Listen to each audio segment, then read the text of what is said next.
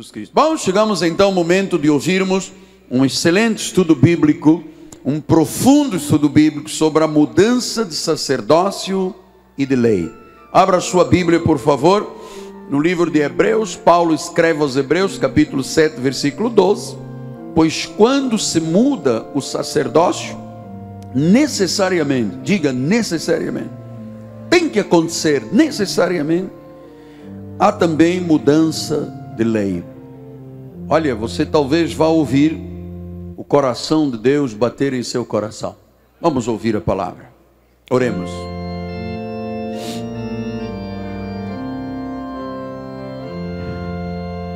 Deus eterno, vive e verdadeiro. Em teu nome, porque tem que ser em teu nome, segundo a palavra, tem que ser segundo a palavra de Deus. Nós agora nos aquietamos para ouvir a tua voz, para receber as instruções de Deus, para receber conhecimento do Senhor, porque nós sabemos, ó oh Deus, que o conhecimento edifica, estrutura a vida, capacita o homem de Deus, a mulher de Deus para reinar nesta terra. Sem conhecimento há destruição, com conhecimento há vida vitoriosa. Em nome de Jesus e todo o povo de Deus diga: Amém, amém e amém. Obrigado, meu bispo. Meus filhinhos na fé, santos preciosos, meus amados irmãos, minha família, povo de propriedade exclusiva do Senhor, selo do meu apostolado. Eu quero muito, meu desejo, que esta noite se te iluminem os olhos do teu coração espiritual para que tu tenhas bem firme, uma firmeza inabalável quanto à certeza da salvação de Jesus Cristo. Eu quero muito que os meus filhos na fé sejam alicerçados com esta palavra e que se tornem rochas indestrutíveis. E quanto mais você conhecer e quanto mais você acreditar, mais o teu coração estará em paz, mais seguro tu estarás em nome de Jesus. Portanto, assim a Bíblia nos ensina a conferir coisas espirituais com espirituais. Olha lá o que diz em 1 de Coríntios. Ah, por isto falamos não em palavras ensinadas pela sabedoria humana, mas ensinadas pelo Espírito, conferindo coisas espirituais com espirituais. Isso quer dizer o quê? Que o que nós vamos aprender esta noite não é sabedoria do Miguel Ângelo. Não fui eu que numa noite tive uma insônia e às cinco e meia da manhã ouvi. Não, não. Isso está aqui na Bíblia. Tem dois mil anos, dois mil e dez anos pelo menos, esta parte que eu lhe estou transmitindo. O que nós agora vamos é conferir, vamos ver se existe um encaixe com as coisas da lei e da graça. Vamos ver se as coisas são assim mesmo conforme nós ensinamos neste ministério. E nós vamos entender esta noite a respeito de salvação. Mas para você entender, você tem que se lembrar o que a Bíblia diz no antigo pacto.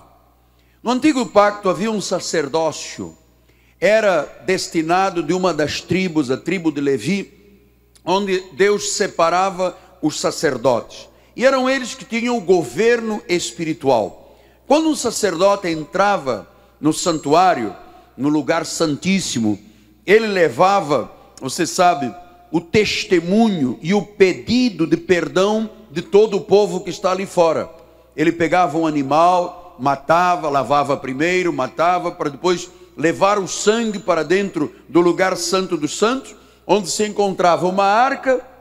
Esta arca tinha a presença de Deus através de uma luz não criada e onde os querubins tomavam conta, era a presença gloriosa de Deus. Então, o sacerdote entrava lá uma vez por ano, levava amarrado nas suas pernas uns sinos, e quando tudo estava em paz com ele, os sinos iam tocando, e o povo lá fora ia dizendo: Ele está sendo aceito por Deus, ele está intercedendo por nós. Se alguma coisa de mal ocorria com o sacerdote, Deus o matava na hora, e ele era retirado de dentro, ele caía morto, através de uma corda que ele levava na sua perna com aqueles guizos, aqueles sininhos. Este era o sacerdócio levítico. Diz em Hebreus 10:1, ora visto que a lei Hebreus 10:1 tem a sombra dos bens vindouros. Aquilo era uma sombra.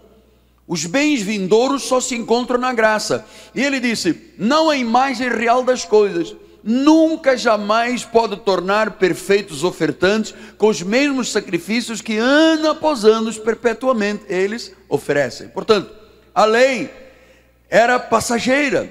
Se o próprio sacerdote estivesse em pecado, morria. E ele entrava lá uma vez por ano, oferecia sacrifício, o povo era perdoado. No ano a seguir, ele voltava outra vez e oferecia de novo sacrifício era uma sombra dos bens vindouros, não era a realidade, não era a imagem real das coisas. Portanto, quando Jesus Cristo veio, quando Deus se fez carne e se tornou o Rei de Reis e Senhor dos Senhores, ele se tornou também o sumo sacerdote da nossa vida.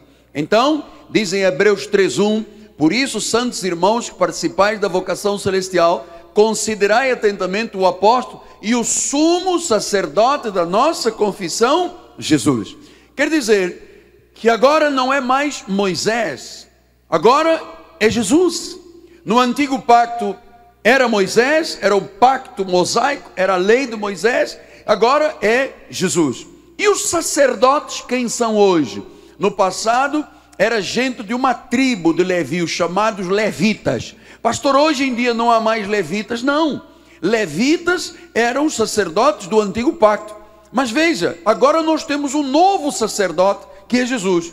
Vamos ver quem são os sacerdotes hoje nesta terra. Diz em 1 de Pedro 2,9: Vós sois raça eleita, sacerdócio real. Então, agora não é uma tribo de levitas, agora é a igreja de Jesus Cristo. Todos nós temos um chamado como sacerdotes reais, temos que ministrar diante de Deus.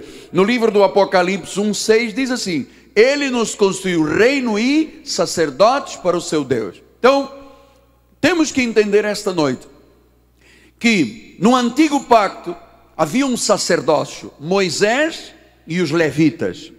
No novo pacto Há um novo sacerdote, o sumo sacerdote, o que está acima de todos os sacerdotes, é o Senhor Jesus, e nós somos os sacerdotes reais. Agora, apóstolo, esta é a mudança de sacerdócio. Não é mais Moisés, não, é Jesus. Não é mais a tribo de Levi, não, somos nós a igreja de Jesus. E o que, que aconteceu com a lei? Então vamos voltar lá em Hebreus 7,12, diz: Pois quando muda o sacerdócio, mudou dos levitas e de Moisés para Jesus.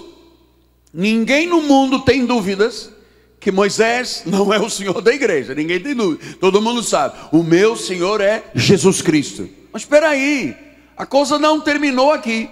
A Bíblia diz que necessariamente, implicitamente, obrigatoriamente, Toda vez que muda na mente do povo de Deus o sacerdócio, tem que mudar também a lei.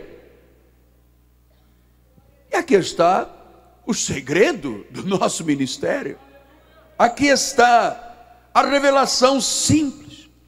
Então você não pode hoje, já que mudou o sacerdócio e necessariamente teve que mudar a lei, não é mais a lei os mandamentos, os 613 mandamentos, as abluções, as vigílias, os sacrifícios, tudo aquilo que se fazia no judaísmo e que se faz entre os judeus até o dia de hoje, mas agora mudou a lei, quer dizer que não é mais a lei de Moisés, é a lei de quem? Da fé de Cristo, chama-se a graça.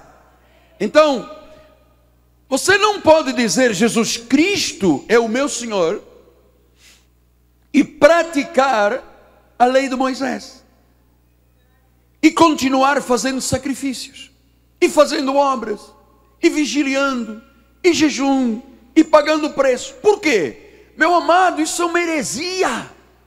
Porque a Bíblia diz que quando muda o sacerdote, mudou ou não mudou? Mudou, todo mundo sabe, no mundo inteiro. Jesus é o caminho. Agora, diz que necessariamente também há mudança de lei.